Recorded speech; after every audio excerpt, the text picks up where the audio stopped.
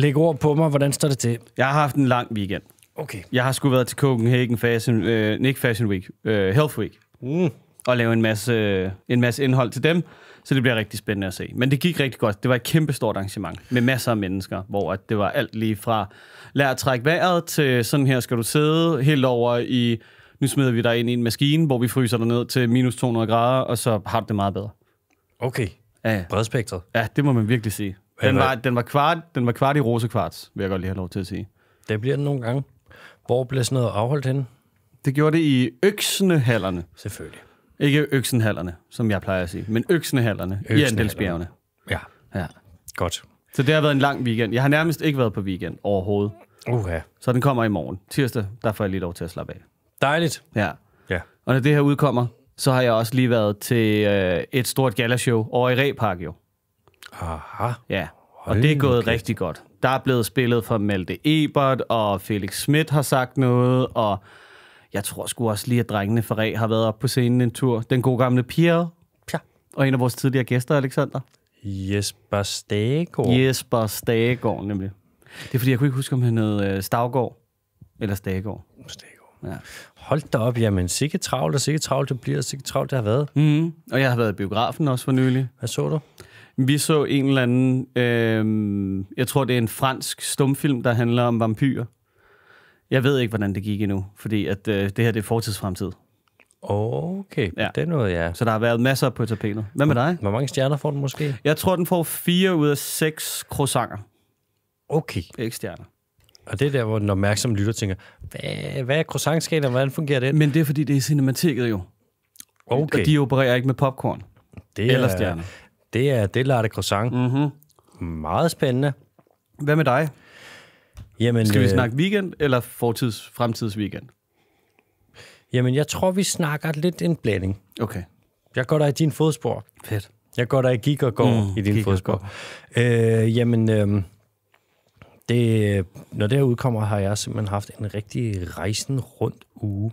Ja. Været oppe i det, noget af det nordligste Danmark, der findes. Simpelthen hele vejen op Kraftedeme. været hele vejen op i Jørgen. Okay. Øh, og sikke en tur. Ja. Og sikke meget rejsen rundt. Er det noget offentlig transport? Jeg er luret på det, men der er simpelthen fra Aarhus og hele vejen op, der er sporarbejde. Okay.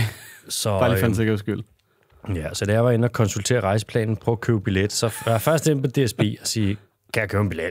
Ja. Og du ved, DSB Orange, der skal du være ude sådan noget to år i forvejen, ellers ja. så er det bare almindelig pris. Det er jo pissebilligt at rejse med DSB, hvis man er ude af altså sådan noget.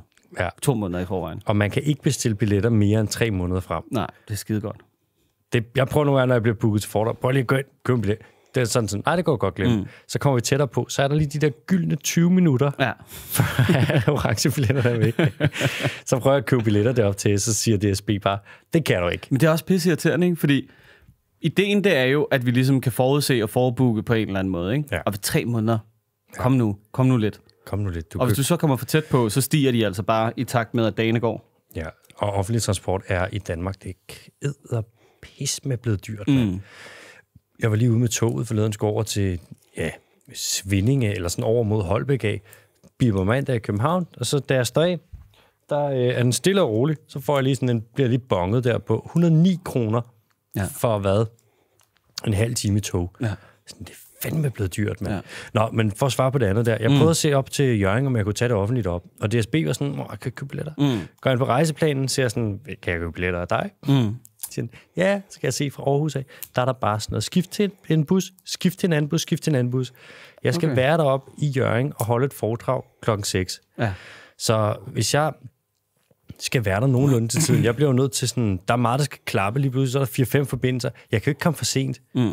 Men hvis jeg så skal komme for tidligt, og jeg sigter efter, at der skal være noget tid, det jeg prøver at sige, er, enten kommer jeg rigtig meget for tidligt, ellers så er der risiko for, at jeg kommer for sent, og jeg kunne se, at det vil tage et sted mellem 7 og 8 timer at komme derop.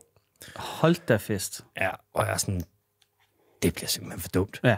Og jeg, det, hvis jeg kommer for ja så kan det jo ikke betale sig. nej, og hvis jeg kommer til, hvis jeg skal være deroppe, lang historie kort, kunne se sådan, der er ikke nogen måde, det her ikke sådan, Det bliver det, elcyklen.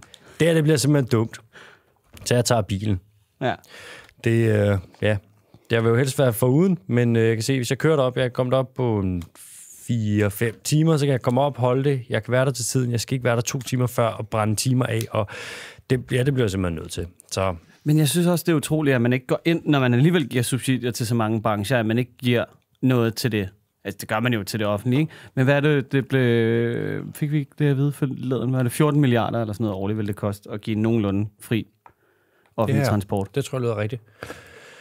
Og så når man lige giver 62 millioner til nye motorveje, så man sådan, har vi brug for så meget cement? Mm. Det er dumt. Ja. Det er det altså. Det er jo. Øh, Bondo, hvad sker der den 9. oktober? Den 9. oktober, der er vi i, øh, tilbage i øh, gode gamle Absalons kirke og laver en quiz. Og det bliver skide godt. Er der noget slør, der kan løftes for noget endnu, eller er det hele stadig endnu lidt øh, på den hemmelige plan? Vi kommer selvfølgelig til at tage nogle nyheder med, ikke? Mm. Og diskutere det. Det bliver sådan lidt blandet live podcast og lidt foredrag og sådan lidt, ikke? Men der kommer til at være masser af quiz. Quizzerne i år har jeg øh, forsøgt mig at prøve at indbringe en masse lyd. Det er jo ligesom blevet sådan en, en fast ting her i segmentet. Så jeg tror, der kommer nogle lyde med, og så kommer der nogle valgmuligheder, og der kommer nogle introduktioner og det ene og det andet. Vi kommer også til at snakke lidt om dyr. Og det bliver ikke politisk. Det bliver, Det bliver aldrig politisk. Fuck. politisk, hvad betyder det? Ja, det ved jeg heller ikke. Jeg Ja. glæder mig til lydene. Ja, hvad med dig? Har du forberedt noget? Ved du, hvad der... Kan du løfte sløret for en nyhed? Skal vi snakke om gris? Nej, det gider jeg sgu ikke. Nej. De er jo selv begyndt at snakke, så Ja. det behøver vi jo ikke gøre det. Nej. Øh, jeg vil faktisk sige en nyhed, der måske kunne være... Måske der kommer lidt med... Nej, jeg vil ikke sige noget nu. Nej, okay. Jeg har lidt bud, men jeg vil også jeg vil gerne... Hvis Det må jeg godt være spændende jo. Hvad? Hvis jeg må komme med et ønske, så kunne jeg godt tænke mig, at øhm, du ikke fortæller mig noget som helst på forhånd, men nogen som helst af dyrene Det er i orden. og lydene, Så du kan stå og gætte med. så jeg kan gætte med. Ja. Og det vil jeg gerne af en eneste årsag. Ja. Det er så alle de posers og alle de noobs og alle de øh, lyvelyttere og alle dem, der normalt siger, åh, gæt dyret før dig, de kan se, det kan de ikke. Det kan de ikke. De får Live. det. Ja. Uh, og man kan gå ind på, uh, hvad det hedder, Absalons Facebook. Der er et direkte link til at købe billetter. Det koster en flad 50'er, og det er sådan set det. Men det bliver en skide god aften. Og der er øl, og der er vin, og der er fællesspisning, og alt muligt lækkert, hvis man har lyst til det. Der er øh, ikke nogen undskyldning for ikke at komme. Og hvis man har et Q&A, et, Q&A, et lille spørgsmål, så kan man jo også lige tage det med. Jeg tror lige, vi efterlader 20 minutter til sidst. 15 minutter. Det er faktisk en god idé. Hvis man har det, og hvis man har et spørgsmål, som man absolut vil have skal med, Mm. så send det lige til Bondo på forhånd. Ja. Ind og send. Ja. Ellers så stil det derinde. Ind og send og stil og det derinde og også. derinde Og alt begge dele. Og råb det, og tag et banner med. Og stil det også derinde og sæt det på forhånd. Ja, tak. Tak. Og der må gerne blive streaket.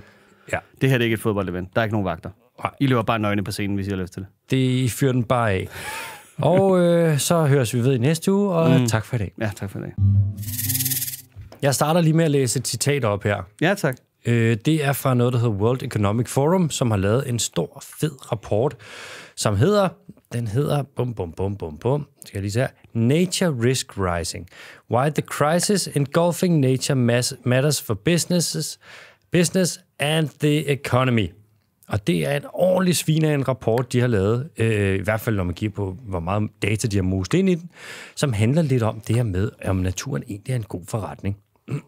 Og prøv lige at høre det her citat, som jeg har plukket ud fra den. Og nu får vi den på skotsk, ikke? Nu bliver det flydende, rivende skotsk. Mm. Human societies and economic activities rely on biodiversity in fundamental ways. Our research shows that 44 trillion of economic value generation, more than half of the world's total GDP, is moderately or highly dependent on nature and its services and is therefore exposed to nature laws. Det, der står her, er kort fortalt, at halvdelen af al den økonomiske, halvdelen af hele verdens markeds gener- økonomiske generering, eller hvad man skal kalde det, det er simpelthen er direkte afhængig af natur- og økosystemtjenester. Mm. Det her tal, de kommer med 44 trillioner Ja, hvor stort dollars. er det? Hvor mange nuller er vi oppe på? Vi er simpelthen op på en trillion. Det er et et-tal med 18 nuller. En trillion, det er 1 milliard milliarder. Så hvis vi har 44 trillioner, så mm. har vi omkring en 280 300 øh, trillioner kroner. Ikke? 300 trillioner kroner, det er 300 milliarder milliarder. En god gammeldags slat. Det er så mange penge, Bondo, at det er helt fjollet. Jeg tror, man prøvede at gøre det op på et tidspunkt, ikke? Eller øh, hvis du gør det op i sekunder eller sådan noget, ikke? så er hvad er det 1 million, det er 11 dage. 1 milliard er 31 år. for at sætte det i perspektiv. Mm. Det er fucking mange penge. Så det er, en, en, så det er hvis det er 31, 1 milliard, det er 31 år, så vil det sige, det er 31 milliarder år per Måske. trilliard. Du, du ganger bare op. Bare ganger op. Smid nuller Det på. er alt for meget. Du smider bare nuller på, indtil det ikke giver nogen ja. mening. Altså, hvis du synes, en million er meget, så prøv at overveje, at det her, det er... Jamen, jeg kan ikke engang regne det. Ja, det er så meget, så det slet ikke giver nogen som helst mening. Men det er alligevel sindssygt, at når du snakker om så mange penge, ikke, og du mm. snakker om så store industrier, der alle sammen er direkte afhængige af naturen, at vi så vælger at bygge det på, hvad der basically er et øh, skrøbeligt fundament. Ja, absolut. Det er som om, vi bygger et rigtig flot hus, men Det- vi har lige soklen, den har vi lige smadret først. Ja, vi har lige sat brand i udstuen, og så går vi ellers videre og ja. maler videre indenfor. ja det fungerer. Ja, det er skide godt. Øh, nu kan jo godt virke sådan lidt abstrakt det her, når man siger, at naturen er så meget værd, og bla bla bla bla bla. Så nu har vi taget lidt eksempler her og plukket ud, så man faktisk kan se, sådan, hvad det er, hvordan at den her værdi er sådan helt konkret. Og det første eksempel, det er noget, som vi lige har også lige har strejfet en gang, som er det her, der skete i øhm, Indien med de gribe, som døde tilbage i 90'erne på grund af diclofenac. Det er antiinflammatoriske smertestillende stykke med medicin, man gav i kvæg. Og som når- ikke havde noget at gøre med mikrobiomet nede i... Øh, øh, det var noget andet. Det var det. Der var øh, muligvis en, der kom, der hedder Alexander, der var kommet til at lave en lille swoop af den her podcast. Ja. Jeg tror, jeg foreslog det, og så var du sådan, det lyder nok meget rigtigt. Det lyder plausibelt. det lyder plausibelt. Den kører vi med. Øhm, men det her diclofenac, det øh, kan gribe ikke nedbryde, så når de kom og spiste de her øhm, kvægådsler, så fik de nyresvigt, og øh, det døde de af. Så der døde et sted mellem 91 og 98 procent af gribene i Indien døde simpelthen inden for ikke særlig lang tid. Og øhm, det er altså lige omkring en cirka 50 millioner gribe. Mm-hmm. Og gribe, det er jo nogle skraldemænd. De render jo rundt og spiser ådsler, og rydder op, og neutraliserer nogle sygdomme, og alt det her. Når de så ikke gør det, så har du lige pludselig død og alskens dårligdom, der bare ligger og splatter ud i landskabet. Og det Ja. ja. betød i Indien, at imellem år 2000 og, år 2000 og 2005, der døde der lige omkring 100.000 mennesker om året af sygdomme og alt, alle de her dårlige ting, der blev ført med sig, at der manglede gribe. Mm. Det koster cirka 320 milliarder kroner om året, når så mange mennesker ligger og dør. Fordi at sygdom, det er bare dyrt. Mennesker, der dør, det er dyrt på alle tænkelige måder, mm. hvis man ser på det helt kynisk. Og så er det selvfølgelig bare pissetrist. Mm. Ikke? Øhm, der kan man sige, det er rimelig meget en til en. Det er simpelthen et stykke med natur. Det er simpelthen nogle arter. Det er noget biodiversitet. Og hvis du lige streger det, hiver det ud af øh, ligningen, så får du en stor fed regning. Ja, det skal jeg da lige love for. Det kommer man ikke udenom. Så også er altså en god ting. Det var ligesom Sebastian Klein sagde. Ja, den Ja. også er enormt vigtig. Mm. Øhm, fordi at hvis at ådslerne, hvis der er et eller andet, der ligger død af en eller anden sygdom, og sygdom ikke skal sprede sig, så bliver man nødt til at få det der ådsel af vejen. Har vi egentlig sådan store ådselser i Danmark på samme måde? På samme skala som Gribben? Gribben! Ja, det vi kommer, der kommer tættest på, det er den røde glinte. Mm. Den er jo rimelig stor. Der er jo nogle arter af grib, som ikke er så forfærdeligt store. Jeg vil gætte på, at der er nogle arter af grib, der er cirka lige så store som øh, rød glinte. Rød glente. Den røde glente. Ja. Den bliver, Af også, Elsebeth Eholm.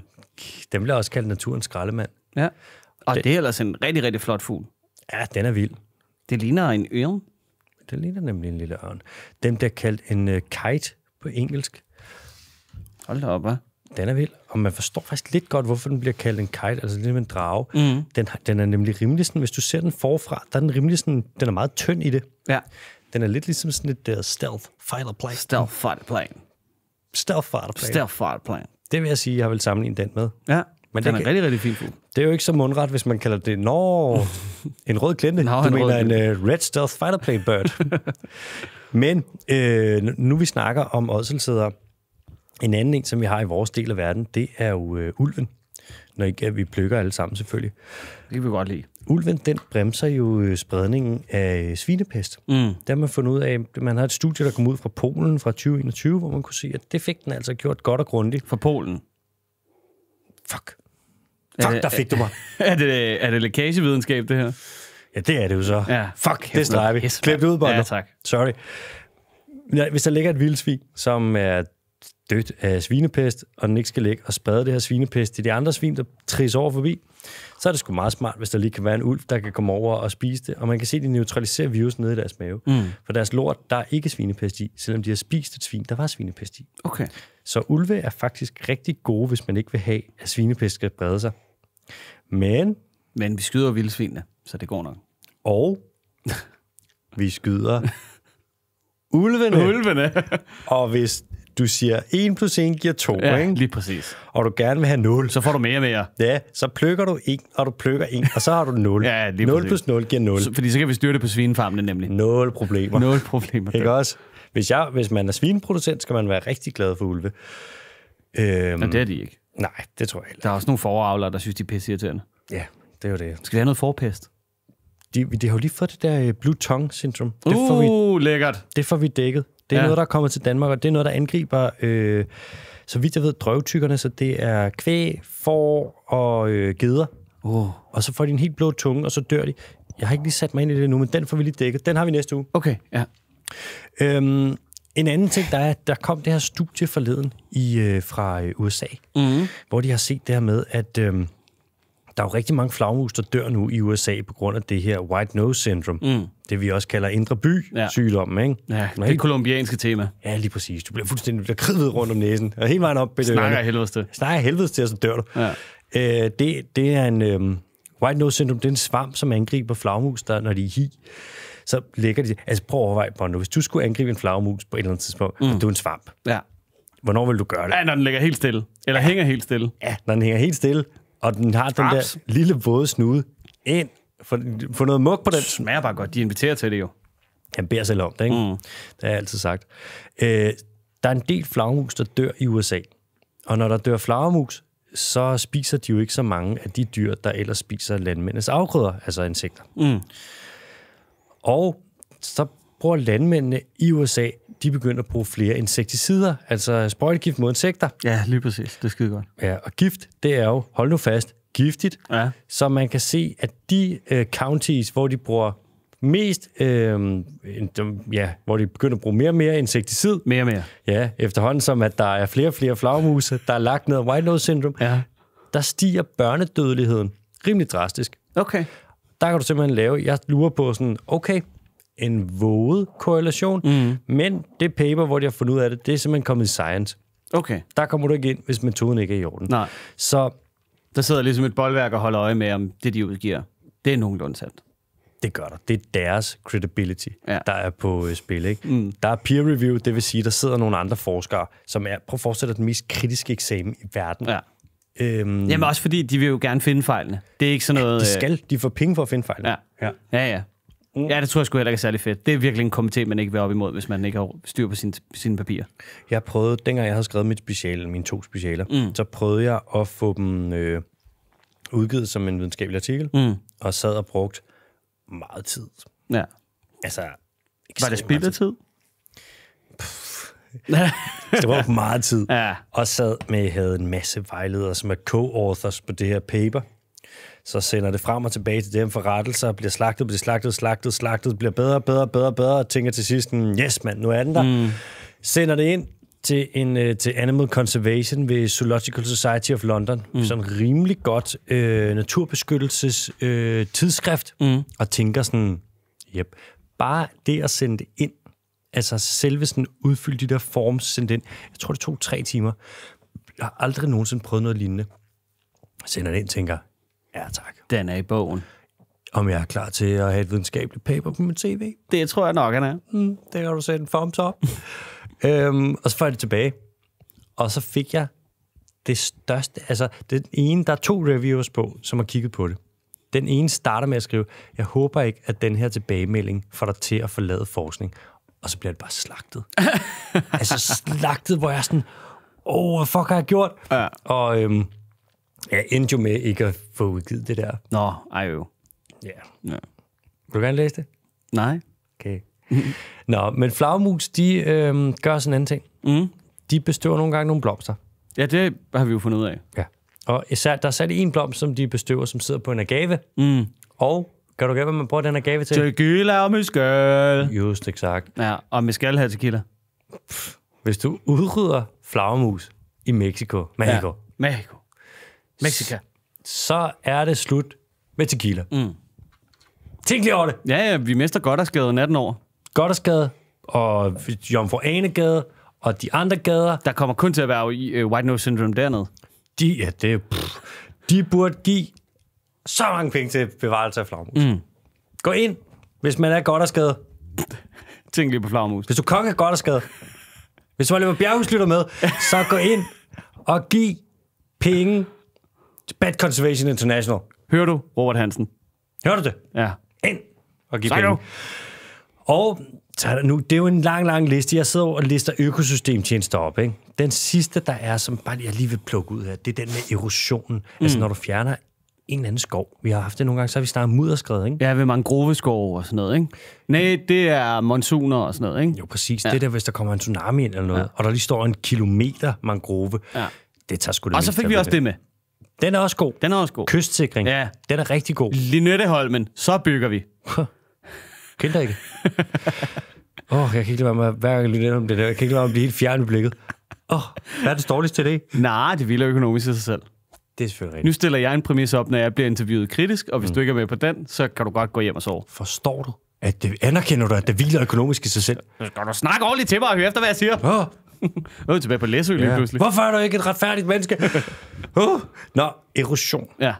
Hvis det er meget i steder, hvor der er sådan en masse skrænter og bjerge, mm. det vil sige for eksempel i øh, Vietnam og i Ecuador, Colombia, Papua Ny Guinea, der ser vi mange mudderskred, som kommer ned lige pludselig på en eller anden bjergside. Jeg har selv set derovre i Ecuador, så når det regner kraftigt, og du har fjernet regnskoven fra en eller anden skråning på en bjergside, mm. og der bare er en græsmark, hvor der er sat nogle kvæg ud, så når det regner meget, lige pludselig, hvis jorden vil skride, så er der ikke rødder fra alle træerne og alting, der holder på det, så vælter det bare ned blokerer vejene, slår folk ihjel. Der var lige en, en øh, landsby, der blev opslugt i Papua Ny Guinea. Der var næsten 2.000 mennesker, der døde.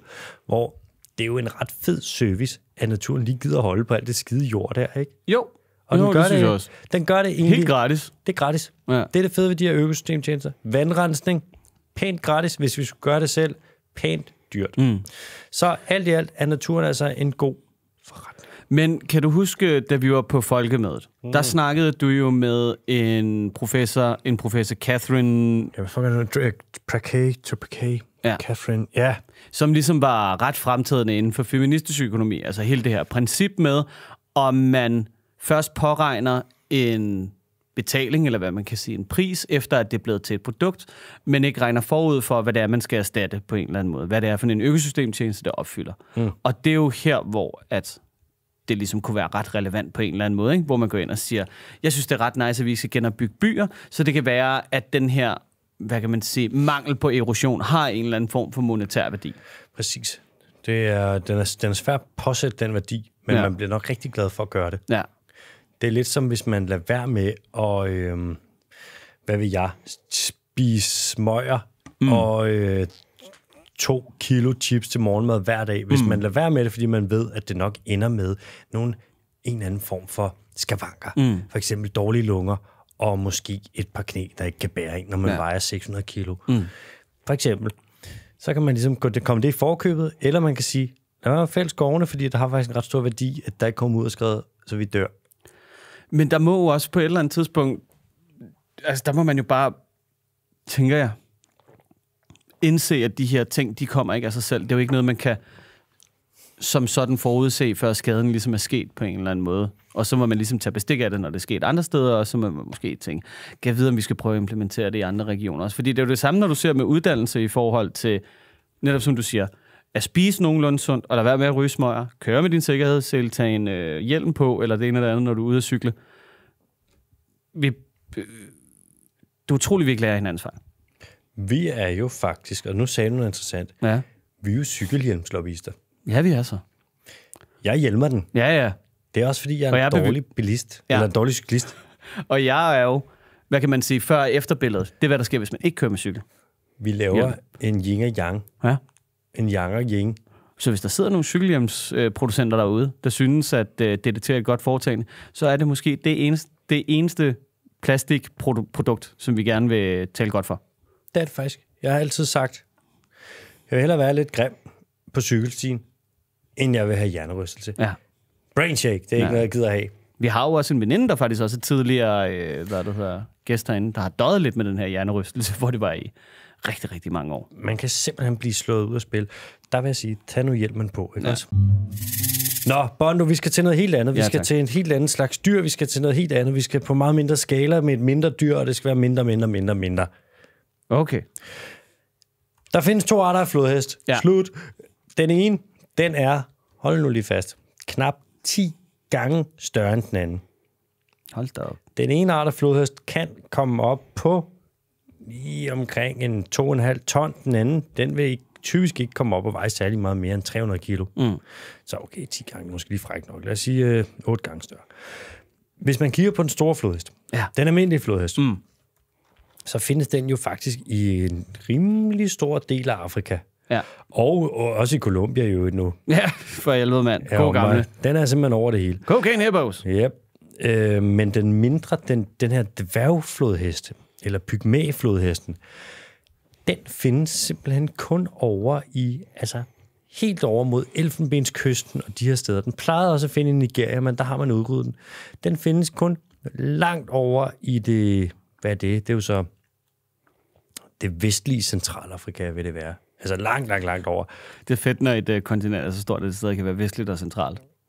Ja, jeg tænker centralt. Sådan midt i Afrika cirka, sådan, hvis man kigger på den sådan, øh, hvad er det, vertikalt, ikke? Men Jo. så langt ud til venstre. Op og ned linjen. Ja, du skal bare så langt ud til venstre, du kan komme i Afrika. Ja. Næsten. Så er den der. Så det er ikke på tværslinjen, der hvor den går højre mod venstre. Nej, det er ikke horisontalt. Nej, okay. På- Hvis det er på tværslinjen, så skal du bare så langt ud, du overhovedet kan. Næsten. Mm, det er på x-aksen. Det er på x-aksen, tak. Og på y-aksen lægger vi lige midt på. Den her dværgflodhest, den er rimelig svær at studere. Mm. For den er, sådan, den er lidt mindre. Mm. Den er nataktiv.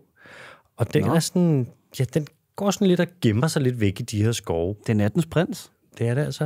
Og den er lidt mere skovlevende end den anden, hvor den anden flodhest, den er jo bare lidt out in the open, ikke? Den ser altså lidt fugtig ud. Den ser pisse sød. Prøv at søge på sådan en, uh, prøv at søge på pyg, pygmy hippo baby Jamen, det er, jamen jeg er her sgu. og kaf. Altså sådan en, når den er nyfødt, ikke? Den er kraftet med sød, mand. Den er, og den er ekstremt lille. Altså, det ligner jo noget, du, det ligner noget, du lige kan smide ned i rygsækken. Ja. Og give dig, så du, når du skal have et cute fix. Så Det er, ligesom, øh, det er ligesom den der, øh, de der grislinger, man kunne få Ja. i en periode i gåseøjne, ikke? som var rigtig, rigtig søde, som 100. jo bare ikke fandtes i virkeligheden. Det er jo så selvfølgelig det. Det er jo et lille minus, når de ikke er ægte. Mm. Man har studeret dem mest i zoologiske haver, Ja. og der er særlig en øh, pygmæflodhest, eller dværgflodhest, der er lige kommet meget frem her på de sociale medier på det sidste, som hedder Moodeng. D-E-N-G.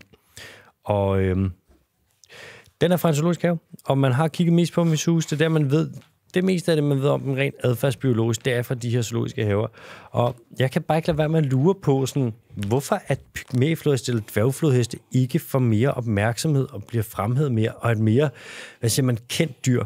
For prøv lige at overveje, prøv at overveje, hvis der fandtes en dværgelefant. Altså en elefant, der varede... Men det gjorde der også på et tidspunkt, gjorde det ikke? Jo, på Sicilien. Ja. Der var elefanter, der var på størrelse med Shetlandsponyer. Mm. Prøv at overveje, hvis de stadig fandtes. Er du sindssygt trækplaster? Det ville gå mok.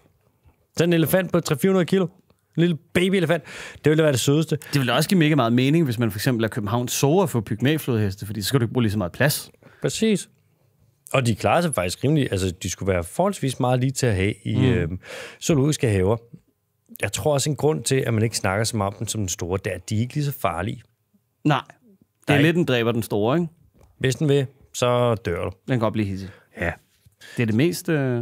Er det ikke det, der er flest, der omkommer til i Afrika? Jo, jeg tror, at Det er dyr. dyr... At, ja, jo, det tror jeg måske. Nej, jeg tænker, der er noget malaria, der lige tager førstepladsen, eller et eller andet, ikke? Jo, det er det. Den, der, det er klart det. Men, jeg Men i tror, human At, ja, wildlife complex. Jo, jeg ved ikke, det, enten, det må være det eller elefanter, ikke? Der er jo en del med elefanter nede i Botswana og Malawi og sådan noget. Der får de altså... Jeg ved det faktisk ikke. Der er ikke så meget krokodil, ved jeg. Der er lidt nilkrokodiller, de nakker nogle løver, tager også lidt folk. Øhm, jo, det kan sgu godt være, dude. Jeg ved det faktisk. Jeg er ikke sikker. Nå, Jamen, så er det en DDT-faktor. det er en detektiv-fakta, at flodheste dræber flest. Men de er blevet enormt populære, fordi der er kommet sådan en lille knutagtig baby, ikke? som er kæmpestor på sociale medier. Mudang. Mudang. Mudang. Hvad betyder det? Ved du det? Det betyder sådan noget lyserød lille gris, tror Det jeg. er fandme også sødt. Jamen, den er bare pisse sød. Nu ved jeg, hvad min hund skal hedde, når jeg en dag får en. Mudang. Modang. Modang. Nå, Ja, tak. lad os se en gang. Bono. Nu skal vi til noget helt andet. For øhm, der er lige kommet en ny stor rapport ud, hvor de har kigget, som har kigget lidt på, øh, hvor mange penge, der egentlig gives i subsidier til øh, de her industrier, som skader miljøet og klimaet mest. Det er for eksempel øh, sådan noget konventionel animalsk produktion, altså storskala dyreproduktion på fabrikker. Mm. Det er jo ikke rigtig godt for noget. Øh, og så er det til den fossile brændstofsektor, altså de her, de her selskaber, der laver øh, kul, olie, gas. Plastik. Det er jo, det er jo kommet med, det er rigtigt, mm. ja. Øhm, og så man kigget på, hvor meget de får. Og de her tal, der står i denne rapport, er fuldstændig latterlige. Det er så gakket. Altså, de får hvert år, der får de i subsidier, de får 17 trillioner kroner. Ja. En, det er så 17.000 billiarder. Eller, jamen, jeg gik, det er 17, 17 milliarder milliarder. Mm. Altså, det er fuldstændig vanvittige penge. Ja, der piver sådan. Hvad er det for en lyd? Kan man høre det? Er det en, der spiller fløjte ude på gaden? Jeg ved det sgu ikke. Jeg ved ikke, om man kan høre det øh, gæsterne. Eller er det ikke gæsterne, lytterne? Det tror jeg sgu ikke. Nej. Lad os bare køre videre ufortrøden. Det er kun irriterende for dem, der lytter med. Ja. Øh, ja, man giver bare helt bizarre mængder. Man giver så meget af, at, at øh, ud af den globale sådan, årlige økonomi, der er det cirka 2,5 procent af de penge, der bliver givet til hvad som helst, de bliver simpelthen givet til det her. Og jeg kunne ikke lade være med at lure på sådan, spørgsmål sådan, hvor, hvorfor egentlig? Af alt, man kan give penge til, hvorfor vil man ikke bruge dem på grøn omstilling eller på et eller andet? Hvorfor give dem til alt det, som vi hele tiden siger, der skal mindre af? Men er det ikke, fordi der er blevet spundet den her fortælling om fra øh, de her industri- industriers side, at det er dem, der skal foretage omstillingen? Jo, til dels. Jeg tror, der er, så vidt jeg kan se, så er der sådan to-tre forklaringer på det. Mm. Den første, det er den med, at de fleste lande, så tænker de sådan, på national plan, så tænker de, hvis de kan udvikle deres øh, energisektor, mm. så de selv kan udvikle deres olie, kul, gas, så behøver de ikke købe noget fra andre lande. Ja. Det var jo det, man så efter, øh, hvad der Putin invaderede Ukraine, og man ligesom lavede. Ja. Præcis. Så de gør mere af det, der er dårligt, fordi så siger de, så behøver de ikke købe det af dem. De andre, der også gør noget, der er dårligt. Præcis. Det er derfor, vi producerer svin i Danmark, fordi det er der, vi er bedst. Præcis. Ja. Så det bliver sådan det der lidt mærkelige øh, argument, man bruger der. Så der bruger du bare altså absurd mange penge på at udvide og opskalere mm. øh, indvinding af olie, for eksempel. Ja. Og så siger du, at så er det det klassiske lækageargument. Så siger du, jamen hvis ikke vi gør det, så øh, skal vi jo købe noget af de andres. I stedet for, at man bruger de penge på så for eksempel at udvikle grøn energi. Mm. Jamen også fordi de går direkte imod, nu har vi snakket om det, altså Paris-aftalen og Kunming-Montreal-aftalen, ikke? Mm. Altså det må, det må være altså, direkte modstridende med, hvad det er, vi har sagt, vi gerne vil gøre. Præcis. En ting. Ja. Altså fuldstændig. Det bryder 100% med det. Men de er jo ikke bindende, de aftaler. Nej, heldigvis. Ja. Og så er der det med, at hvis vi kigger på, der er landbruget et godt eksempel, hvis vi kigger på de penge, der bliver givet dansk landbrug, som jo er altså ekstremt store summer.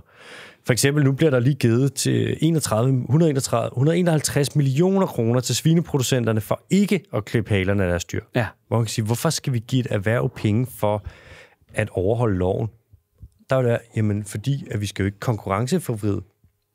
Hvis nu, at de andre lande, de gør noget, så kan vi jo ikke bare pålægge vores landmænd og stoppe med at gøre et eller andet, så de ikke kan konkurrere mm. længere. Og så lige pludselig begynder det bare at blive dumt, ikke? Så står alle lande og siger det samme. Og det er jo ikke et argument, vi finder på. Det blev sagt en til en ind i deadline, at hvad er det, 95 procent af alle vores øh, pattegris, de bliver øh, halekuperet. Ja. Og det kan man ikke stoppe med, fordi de andre gør det også. Det er det. Ja. Det er dumt. Ja. Og de andre gør det også ulovligt. Det er sådan en slags... Øh, det er formand for Dansk Svin og Landbrug eller sådan noget, ikke? Jo, hvad er det? Var det ikke formand for grisesektoren inden ved Landbrug og Fødevare? ja. Øhm, Det er bare for at sige, det er ikke noget, vi sidder og finder på som et eller andet dumt argument. nej, nej. Det er et dumt argument, som er blevet sagt af dem, der ligesom skal forvalte det her. Straight og får up. pengene. Ja, ja, straight up. Det er det, vi tit joker med det her lækage-argumentet. Mm. Det er et, ultra brugt argument, som koster 17 trilliarder, trillioner, milliarder, millioner gogoler om året. Mm. Vi skal bare finde på noget. Ja, det er fuldstændig sindssygt. Altså, de her penge, nu, de er så store. Mm. Det, hvis man brugte de her penge på grøn omstilling, så kunne vi bremse den økologiske bullekris i morgen. Jeg sad, og da jeg læste artiklen, ikke? Mm. og nu, har jeg jo ikke, øh, nu er det ikke, fordi jeg forstår det indgående, men der er stadig nogle ting, som jeg synes bliver sagt i den her artikel, som jeg synes er, er ret sindssyge. Kom der er øh, Christiana Figueres, Ja. som pointerer, hvor selvdestruktive subsidierne er. We continue to finance our own extinction. Ja, Altså, det er jo fuldstændig vanvittigt. fuldstændig. 2.6 trillion now funding the destruction of nature. Altså direkte miljøskadende øh, funding. Mm.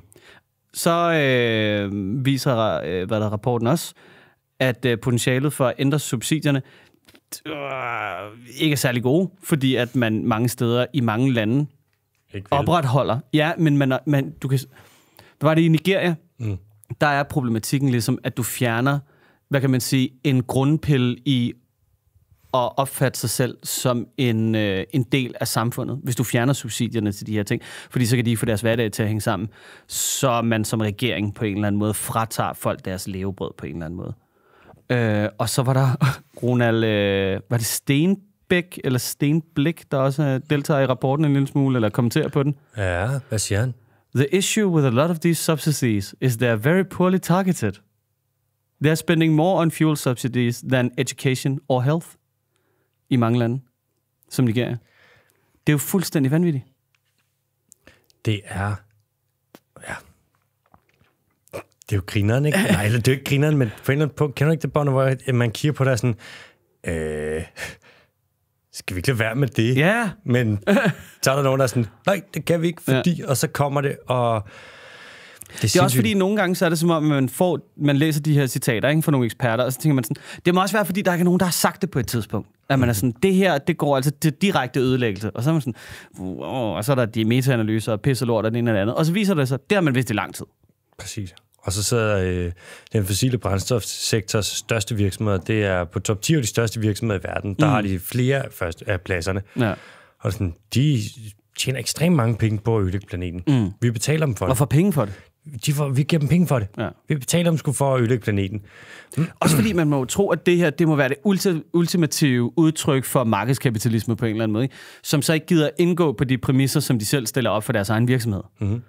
Vi burde tage og gøre det med alle de her forskellige industrier, vi snakker om her, som man gjorde med tobaksindustrien. Mm. Sige, I må ikke lave reklamer på alle jeres produkter, der mm. skal I reklamere sandfærdigt med, hvad I gør. Mm. Og jeres lobbyister får ikke adgang til politikerne mere. Ja. Det burde man. Men øhm, ja, der er nok der er lidt vej nu. Ja, Vi må vi kan jo hvad- bare starte... Vi, vi, kunne, kunne det ikke være rart at bare starte med det der lobbyregister?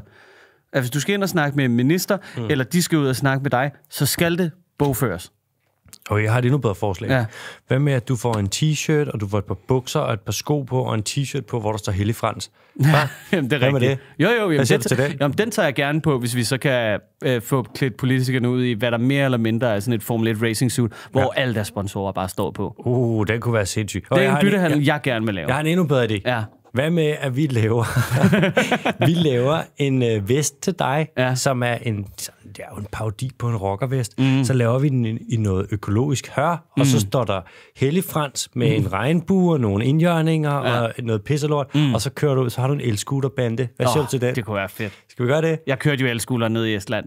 Gør du det? Ja, el-løbehjulet. Oj. Det er jo fedt, når man er i udlandet. Det er ikke fedt i København. Nej. Altså, der skal de bare direkte ned. De skal ikke ned i søen, men mm. de skal ned i søen. Ja. Forstår du, hvad jeg mener? De, ja, De er sgu lækre. Det er fedt. man kan få nogen, der kører 45. Er du sindssyg, det går stærkt, mand. Og det hele, det bimler og bamler. Fordi når du leger noget, ikke? Mm. Altså, jeg prøver selvfølgelig at passe på det, ikke? Selvfølgelig. Det er der ingen andre, der gør. Det er ligesom at træde op på sådan en vakkelvogn hjemmebygget sæbekassebil eller et eller andet, og så bare mm. spænde en, en motor på, der kan køre 45 km i timen. Har du hjelm på? Nej, nej, det er jeg ikke med. Men du er tykt hår. Ja, stort tykt hår. Jeg sætter op i en bøn. Det gælder. Okay, så det, det kører skide godt for subsidiesektoren. Ved du hvad, det gode ved den her nyhed, ikke? Mm. det er, at der er masser af plads til forbedring. Der er en room for improvement. Ja, og vi ved præcis, hvad man skal gøre. Lad være med at give så fucking mange penge til alt det her lort, Du skal bare lukke. og bruge det på noget grønt i stedet for. Nej, hold op med det der. Og nu, mm. nogle gange, så har man en hund, der dør. Ja. Og det er altså bare trist. Mm. Det kan være noget af det tristeste. Der skal man ikke undervurdere, hvor tæt man kan komme på en hund. Hold kæft, det kan være ligesom at miste et familiemedlem. Menneskets bedste ven. Det er det altså. You, Og, the dog is a part of your life, but for the dog, you are its whole life. wow. I'm 14 and this is Steve.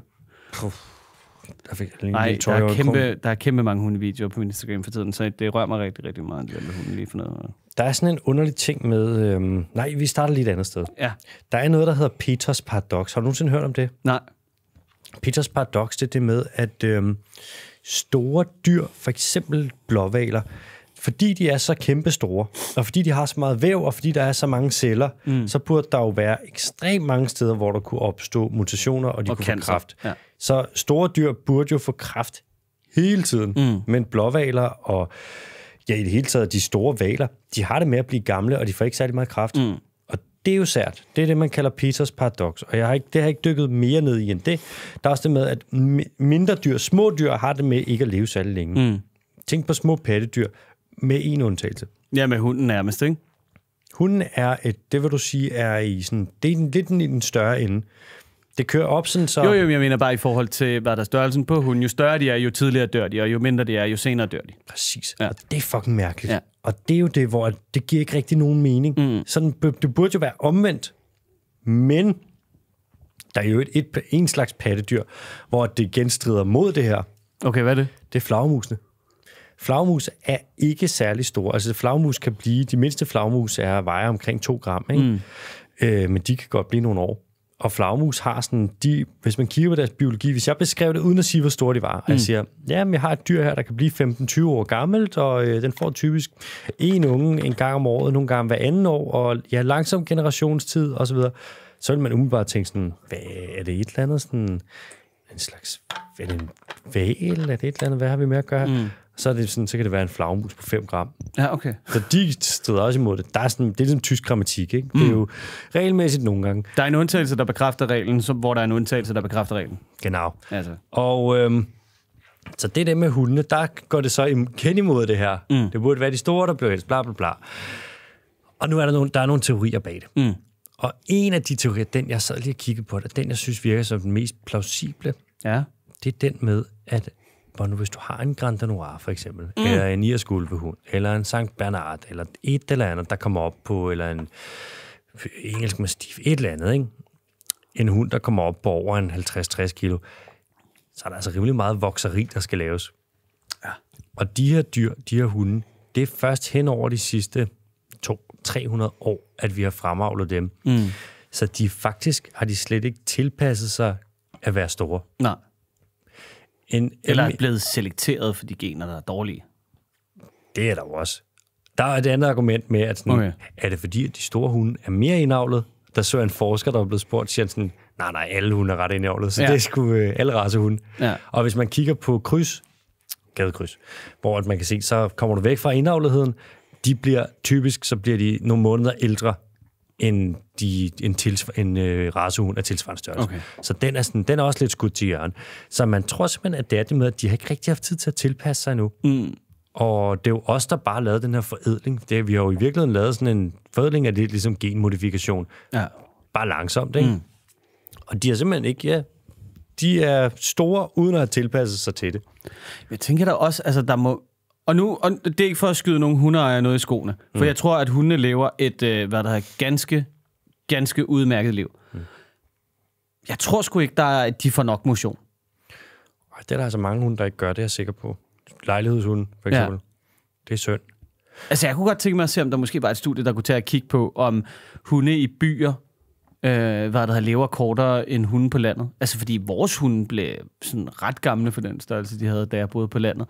Vi snakker sådan noget 16, 16 år, 15-16 år, for sådan nogle ret store øh, gråhårede hønsehunde og sådan lidt af hvert. 15-16 år, det er kraftet med en gammel hund. Ja, Det må man sige. Ja. Der er med garanti lavet studier på det. Det Okay. er det mest velstuderede dyr, der findes. ja. Næsten. Det jeg så også mente, det andet der med race, ikke? Mm. det er, lad os nu sige, at der sker en afstikker på et tidspunkt, ikke? Mm. som for eksempel ulven. Så er der nogle, så er der måske nogle tusindvis af generationer, der får lov til at selektere for de dårlige gener, der er. Hvor at man kan sige, at rene racehund, der avler du videre på de samme gener, på de samme gener, på de samme gener. Der sker jo ikke en naturlig selektion i forhold til, om den kan klare sig på en eller anden måde i gåsøjne. Gør der? Nej, i vores landbrugsdyr, der er den naturlige selektion er lidt på en måde frasorteret, fordi vi sørger for, at de nok skal overleve. Ja. Sammen med den seksuelle selektion er også langt hen ad vejen. Den er også lidt fjernet egentlig, Ja. fordi vi styrer det hele. Ikke? Lidt ligesom os mennesker. Hvor sådan, det er meget, meget, meget svært at pege på naturlig selektion hos mennesker. Mm. Fordi sådan, det er jo ikke fordi, at der er nogen særlige træk, der gør, at vi ligesom får flere børn. Det er ikke fordi, man kan sige sådan, åh ja, der er den her grad af melanin i, i, i huden, eller den her højde, eller det her eller det her, fordi sådan Nej, det er meget mere socialt betinget. helt absurd meget, og det er ultra svært at se på, sådan, hvilke gener, der bliver selekteret for. Mm. Det, den eneste undtagelse, jeg kender, det er den der med sejlcelleanemi.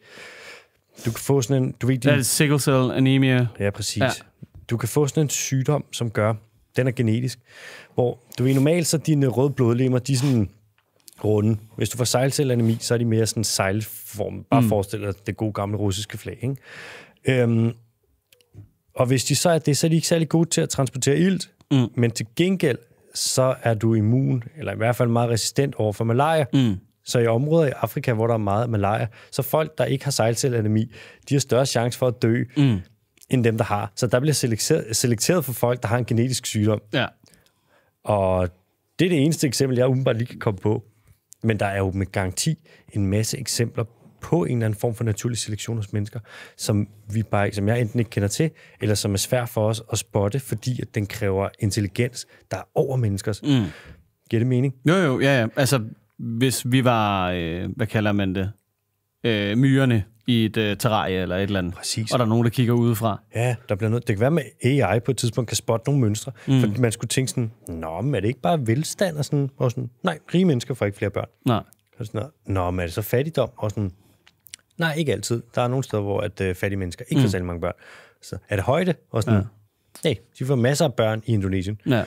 Okay, altså, og så kan man blive ved. Ja, ja. Så det er, sådan, det er super svært. Jeg tror, der var, var der ikke et studie på et tidspunkt, det var sådan noget med 80 procent af alle kvinder får børn, men det er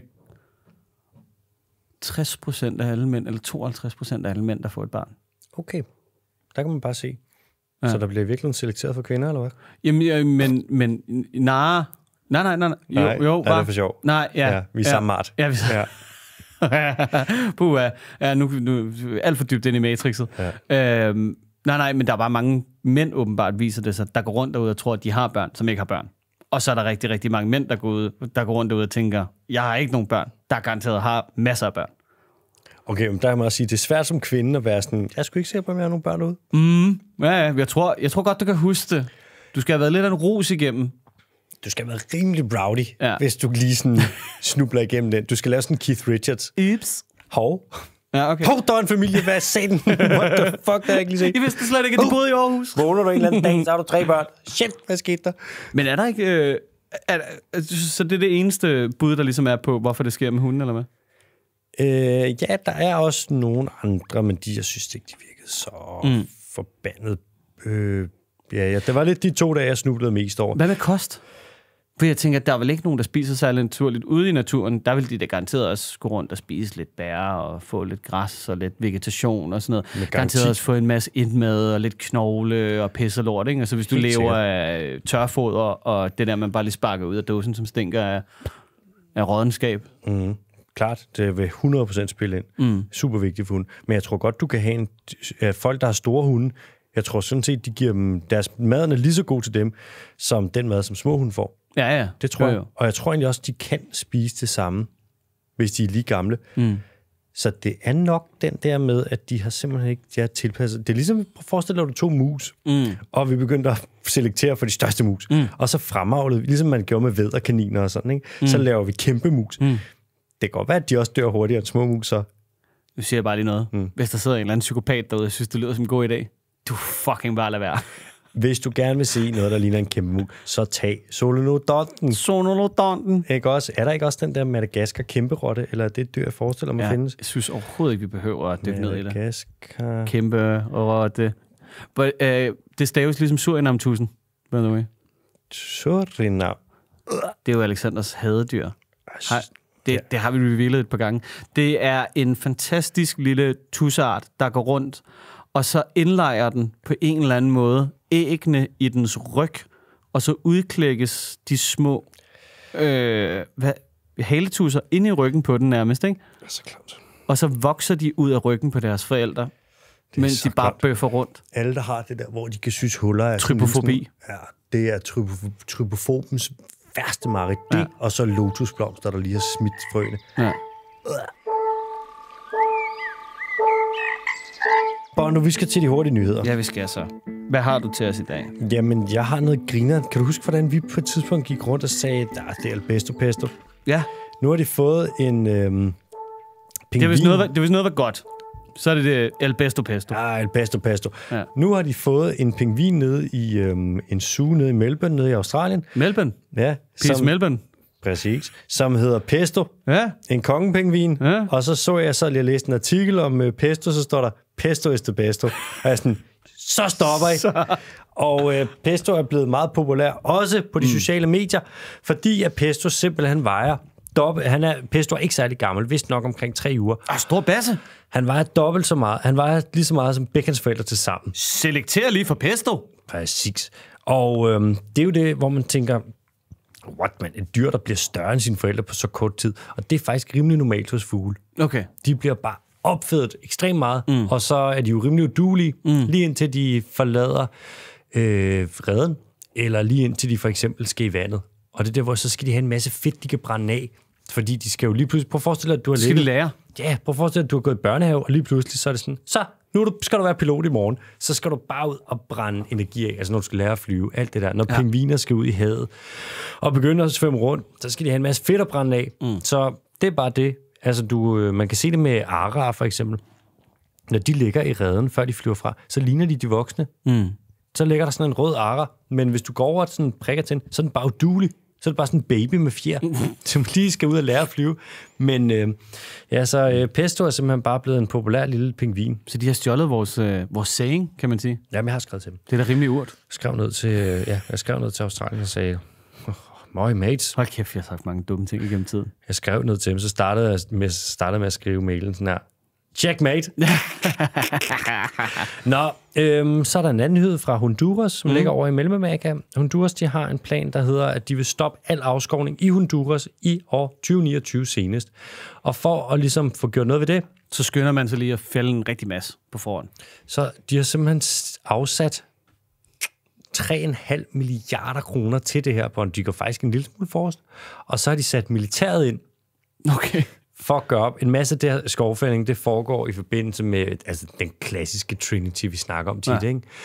Du skal lave noget vej, noget transport, typisk noget smugling af mennesker og narko. Mm. Du skal lave narko, så skal der have minedrift, og så øhm, er der kvægfarming. Mm. Så nu har de sat ind, og vi må se, hvordan fanden det går. Jeg tror, vi kommer, vi kommer nok til at dække det lidt, fordi at det er jo spændende, det her. Kan man snart begynde at sætte NATO ind? Nej, øh, hvad det, nej øh, FN ind. FN-tropper ind. Jamen, de er jo fredsbevarende. Ja. Yeah. Og her der skal jo nogen ind og, lave, og stoppe nogle kriminelle. Ja. Det er jo lidt som at sætte sådan en, en pædagog ind for at rydde Christiania. Så lad os sætte NATO ind. Putin, for helvede. Put it in. Putin. så er der simpelthen sket noget. I øh, Ecuador, mm. der har man fundet frøen Pristimantis ruidus igen, efter at man troede, den var uddød, fordi man ikke har fundet den i 100 år. Fordi man ikke har set den. Ja. Man har jo ikke fået kigget ordentligt. Nej. Og det er der ikke noget at sige til. Nogle frøer, de er nogle små kryptiske sataner, de kan jo bare lige gemme Og der sig. findes nogle store steder derude. Nu siger jeg det bare. Det gør der. Du sagde det. Og den her, den blev fundet sidste gang i 1922 af en eller anden dude, og øh, så er den simpelthen væk, indtil at der var et lille hold, der fandt den. Er det, er det den her, satan? Oui. Okay. Jeg kan så fortælle øh, lytterne, at øh, der er gang i en fed krop, øh, meget, meget spinkle ben, nogle lange fingre, så jeg tror, den kan klatre rigtig, rigtig godt. Mm. Øh, men sådan lidt et kort, krokodilleagtigt snudeskaft på en eller anden måde, med nogle kæmpe store øjne. Mm, den lyder næsten cute. Ja, det er den ikke helt. Den er blevet fundet igen. Så det er jo en dejlig nyhed. Welcome back.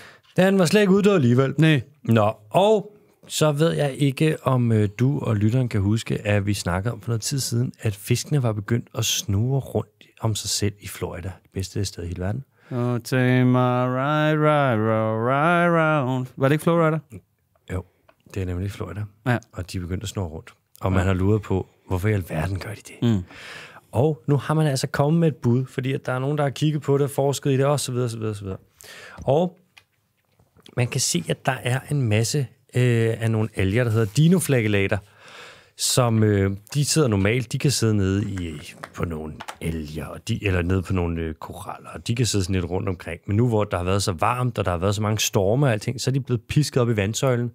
Og så har der været en kombination af alle mulige dinoflagellat-arter, øh, og det er som om, når de kommer ind, så laver de i kombination en masse arter, så laver de sådan en giftig cocktail, mm. som simpelthen, når fiskene så får det ind i gælderne og ind i systemet, så begynder de at bare snurre rundt om sig selv, og så bliver de bare knocked out cold, mand. Shit. Værsgo. Hvad fanden sker der, mand? Jamen, det kan det det slet ikke være bekendt. Nej, jeg har det på samme måde. Nå. Skal vi til en, øh, skal vi til en lyd?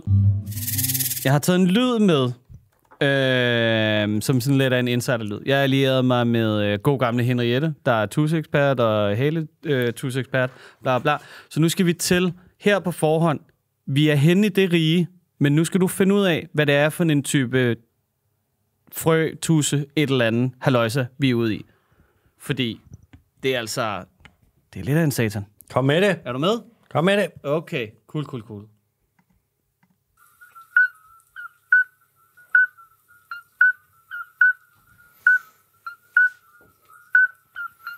Okay. Det lyder som sådan en, en lille frø, der giver besked om, at den bakker. Mhm. Lige præcis. Okay, den er svær. Uh, hav, hav, hav, hav. Umiddelbart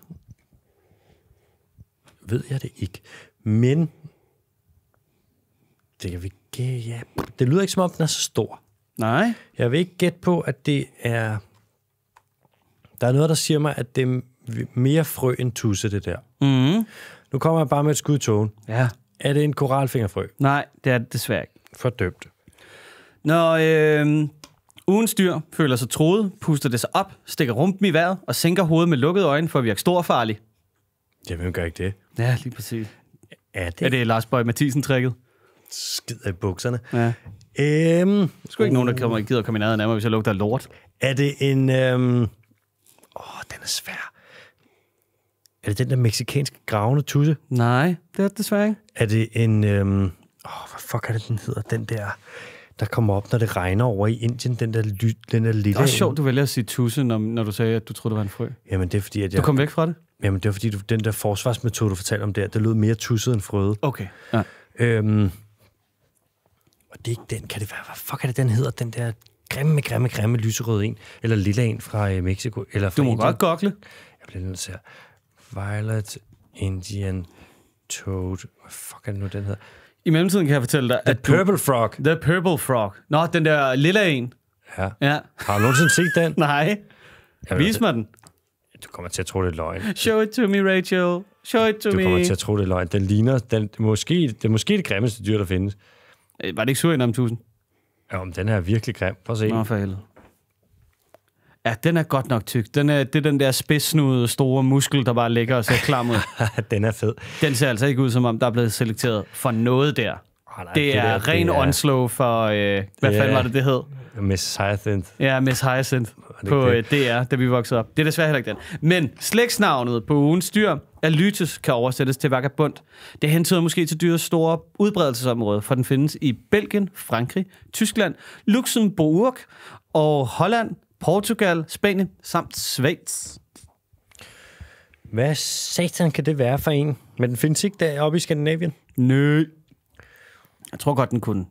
Jeg giver det to måneder i Saksfjord i Vildmark, og så har de den. Mm. Det kommer. Øh, uh, hvor nu den er svær. Ja, det må jeg indrømme, jeg ved det ikke. Det er jo ikke klokkefrø. 5,5 cm. 5,5 cm. Okay, det er ikke en af de helt små, men den er jo heller ikke... Jeg tror ikke, det er sådan noget butsnudfrø, eller grøn frø, eller alle dem der, fordi det er ikke sådan... Det er mere sådan klassisk dansk, vil jeg sige. Øh, giv mig en ledtråd mere. Hannen passer på æggene, indtil de er klar til at blive klækket efter 3-8 uger. Han passer simpelthen på æggene. Ja. Og jeg kan fortælle dig, at hvis du forestiller dig sådan en slags lederhosen, ikke? Ja. der ikke går hele vejen op til skuldrene, altså med øh, selerne der, ikke? så prøv at forestille dig det, men bare æg på benene i stedet for. What? Og så biber den. Og så bipper den som mm. en lille lastbil. Øhm, ja, jeg mener, om det er pinligt, men jeg ved det faktisk ikke. Mm. I modsætning til de fleste andre i dyrets klasse, der ligger deres æg i vand, hvor de kan passe på sig selv, så snor halen ranker af æg om bagbenene og tager sig en svømmetur, hvis de er ved at tørre ud. Øh, dyrets engelske navn, betyder jordmortusse, selvom der taler om en frø. Og det er den sidste ledetråd. Vi er simpelthen ude i, at du skal lære et helt nyt dyr, dyr at kende i den her uge. Ja, hvad fanden er det nu, jordmor hedder på engelsk? Det hedder en Midwife. Midwife. Ja, En midwife toad. ja, lige præcis. Men det er en, på dansk hedder det en fødselshjælperfrø. Fødselshjælperfrø. Har du set den? Nej, vis mig den. Skal jeg lige prøve at se, om jeg kan finde et billede af det. Øh, jeg, kan- oh, jeg fandt lidt med æggene her, der gode. Mid, nej, nu gør vi sådan her. Nu gør vi det på engelsk, fordi det, der er ikke med. noget, der kan finde det. Midwife Toad Eggs. There we go. Så kan du se her, så ligger den. Kan du lige beskrive, hvad det er, vi ser? Det er kraftigt ulækkert, mand. kan du godt være, det er bare sådan en bunke æg, der ligger på røven af en eller anden grimmert. Mm. Men det Den- ligner lidt en strandtusse på mange måder, gør ved det? du hvad, jeg synes, det ligner lidt. Nej? Jeg synes, det ligner den der skurk fra øhm, Spider-Man. Den der øh, krokodillekut der. Ah, den, eller du tænker ikke på Killer Croc fra... Øh, Killer Croc. Ja, men det er Batman. Det er Batman. Ja. Ja. Ah, det er begge, men Spider-Man er også DC. Nej, han er Marvel. Ja, men han er... Det, The Lizard, det er Kurt Connors. Det er ham, der mangler en arm. Ah, Du tænker jeg, på jeg tænker på øh, den der Big Bad Croc dude der. Ja. Killer Croc. Killer Croc. Ja. Det ligner Killer Croc, bare med æg på røven. Mm. Der, er- der går rygter om, at i Batman 2, den næste der, ikke? Fordi, kan du huske i den seneste The Batman? Nej, den har jeg sjovnet ud, fordi det er med Ben Affleck, som er en Det er ikke med Ben. Affleck, det er med ham fra Twilight. Nå, Robert Pattinson. Ja. Han var også lort. Nej, den var skidegod. Lort. Rigtig emo og sur. Nå, øh, spoiler alert. Til sidst i filmen, der bliver der sprunget sådan nogle barriere, fordi halvdelen af Gotham ligger under vandniveau. Så der er ligesom rigtig, rigtig meget vand, der oversvømmer byen. Så der går rygter om, at det kunne måske godt være Killer Croc på en eller anden måde, der lige med noget vand og sådan lidt, ikke? Der bliver den næste skurk, men jeg tror det ikke. Meget spændende. Ja. Meget spændende sager. Men så lærte vi noget nyt. Fødselshjælperfrø. Midwife Toad. Midwife Toad. Skal vi videre? Vi tager spørgsmål, og det spørg- første spørgsmål, det læser jeg lige op her. Det er fra Lukas. Måske et dumt spørgsmål. Er giftige dyr immune for deres egen gift? Lad os sige en giftæderkop eller slange ved et uheld bider sig selv i tungen eller noget. Vil den så blive forgiftet? Eller har de et giftkammer med kanaler ud til tænderne? En stikker, øh, en stikker deres skin eller whatever, uden at det bliver involveret i deres blodsystem? Og hvad så? Hvis dyr af samme art eller med det samme gift bider hinanden, hvad sker der så? Gør det bare nas, eller virker giften så? Samtidig med, at det gør nas? Håber, det giver mening. Jeg blev selv lidt forvirret undervejs. Forstår jeg godt, det er et rigtig godt spørgsmål. Ja. Øhm, Og det vidste du ikke? Nej, det vidste jeg faktisk ikke. Nej. Så jeg konsulterer jo en ekspert, Christoffer ja. Sørensen, som er postdoc-forsker ved Center for Antibody Technologies på DTU, og har været herinde en gang også til en special, mm. og gør os klogere på øh, slangegift og modgift, og hvordan gift virker, og hvilke typer gift der findes og sådan noget. Han er skarp på det her. Mm. Øh, han skriver så, Først vil jeg lige sige, at det ikke lige er evolutionær udvikling af gifte, der er mit speciale, men jeg har lige kigget lidt ind i det og fundet dette. Det er jo det. Prøv at være sådan noget, hvor ydmygt der. Kom ja. ind der og være sådan, jeg svarer lige på det, men I skal bare vide, det er ikke mit speciale. Jeg Men ved det ikke. Jeg ved det godt. Så deler han en artikel her øh, fra 2022, og så siger han, den artikel fra 2022 fortæller, at de fleste slanger er immune over for deres egen gift. Mm. Dette sker ved, at de i løbet af evolutionen har udviklet nye toksiner til at angribe deres bytte, men samtidig har de også udviklet nye antitoksiner, så de, har, så de også har en backup, hvis uheldet skulle være ude. Dog vil det nok ikke være så nødvendigt, da de fleste dyr har ret godt styr på at holde deres egen gift lidt på afstand, så den ikke skader dem. Eksempelvis opbevarer slanger deres egen gift øh, opbevarer slanger deres gift i nogle specielle giftsække, som er omgivet af muskler, så de selv kan bestemme, hvornår og hvor meget gift de vil have, de vil give. Disse giftsække connecter sig til slangens hugtænder, som skal bryde igennem hudlaget på dem selv eller byttedyret, før giften har en effekt. Så summa summarum, en selvforgiftning er noget, der meget sjældent vil ske for en slange, men hvis det sker, så har den et backup-system, der umiddelbart vil klare størstedelen, hoveddelen af problemet. Ja. Hvordan kan det så være, at man udvikler den her antigift i andre dyr end selve dyret? Fordi det fandt vi jo ud af med Christoffer. Så giver man lidt til en stor hest, som så står og opbygger noget, noget, nogle antibodies, ja. og så hiver man det ud og synthesizer det og pisser lort. Ja. Vil man så ikke bare kunne tage det direkte fra slangen selv? Det er fandme en god, det er et godt bu- bud. Det ved jeg simpelthen ikke. Det, vi får en opfølging fra Christoffer Sørensen igen i næste uge, Vi som lige- er postdoc-forsker ved Center for Antibody Technologies på TTU. Ja, og tak for spørgsmålet til Lukas. Tak, øh, Christoffer, fordi du lige gider hjælpe med her, når vi er to øh, idioter. Ja, Lukas med C. Lukas med C, ja. Ja, det er det bibelske. Okay, i lige måde. Ja. Øh, Mathias. Mm.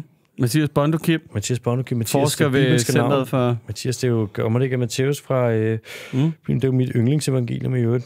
Mm. Og så du ved det ikke, for stort et kompliment, du skal have, men Hvad er værsgo. det, hvad er det jo, uh, Matthæus, det betyder? På gammel hebraisk? det ved jeg ikke. Guds gave. Er det rigtigt? Ja. Hold nu op. Mm. Vil du ikke læse det næste spørgsmål op? Jo. Det, er, det næste spørgsmål er fra Christian med CH. Hej Det er Christian. kongeligt, ikke? Det kan jeg love dig for, det er. Ja. Hey. Hey Christian. Hej Christian. Du er for tidlig på den. Fakt, øh, fantastisk god øh, podcast, I laver. Lytter til den uge efter uge, og det er en fornøjelse hver gang. Keep it up. Stor klapsalve. Emoji. Mm. Jeg har et spørgsmål angående donering til naturbevaring. Har I nogle organisationer eller bestemte typer af naturbevaring, som I vil anbefale at donere til, hvor pengene, øh, så at sige, vil gøre mest gavn? Med venlig hilsen, Christian. Og der vil jeg jo gerne have lov til at bringe den dyriske forening i spil. Arternes Forening. Arternes Forening, undskyld. I har skiftet navn. Ja. Og det er jo en lille forening, som Alexander er medstifter af sammen med Jonas Kolding, ikke? Yes. Ja. Hvor at, øh, der er rimelig stor gennemsigtighed med, hvor pengene går hen, og hvilken forskel de kommer til at gøre. Så mm. det er et rigtig, rigtig godt sted at starte. Arternes Forening. Det, øh, ja, den vil jeg simpelthen også øh, sige. Det er, jo det, vi får, det er de to spørgsmål, vi får mest. Mm. Det, er, det ene det er, hvordan holder I håbet op, mm. når I arbejder så meget med, hvordan alting er ved at gå i lort? Mm. Og det er en stridstrøm af, hvad der hedder, pulficé, ja. Og en, øh, hvad der hedder, mere skomad. Og så øh, er det andet spørgsmål, det er sådan, hvad skal man støtte, hvad kan man gøre? Og der er det det, fordi det er kommet så mange gange det spørgsmål, så jeg, sammen med Jonas Larsen, så har vi lavet den her lille forening, mm. som er jo et forholdsvis simpelt apparat. Mm.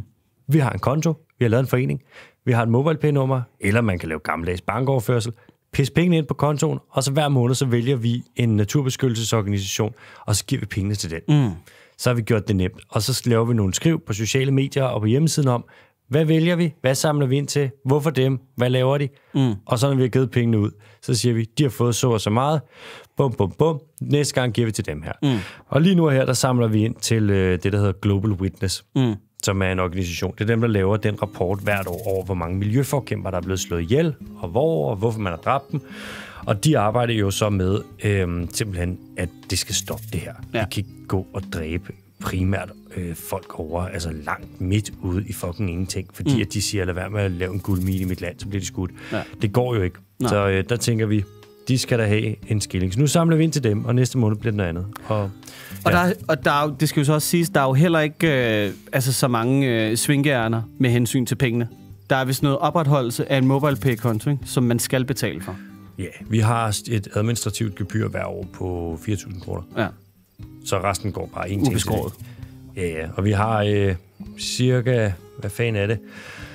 I år tror jeg, vi samler ind, der samler vi omkring, hvad bliver det, en 70-80.000 kroner ind. Mm.